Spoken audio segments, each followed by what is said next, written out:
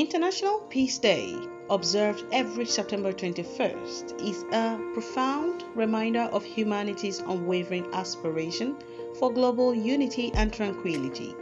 Under the theme Actions for Peace, our ambition for the global goals, this day carries a resounding message about the critical link between peace and the achievement of the Sustainable Development Goals, SDGs. The International Day of Peace, established by the United Nations in 1981, stands as a beacon of hope, encouraging nations and individuals worldwide to unite in their pursuit of peace. It beckons us to confront conflicts, nurture tolerance, and passionately strive towards a world filled with serenity. This year's theme underscores that peace isn't merely an abstract concept but a tangible force that drives progress across all facets of life. Peace is the cornerstone upon which we can build a more equitable, prosperous, and sustainable world.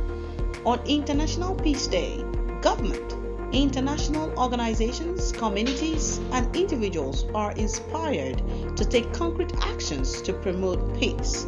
It is a day for peaceful marches, enlightening discussions, and educational programs aimed at raising awareness about the paramount importance of peace and the art of conflict resolution.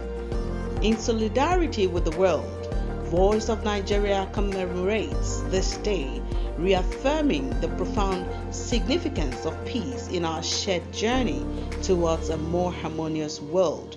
Together, let us take meaningful actions for peace and work towards the global goals that promise a brighter future for all.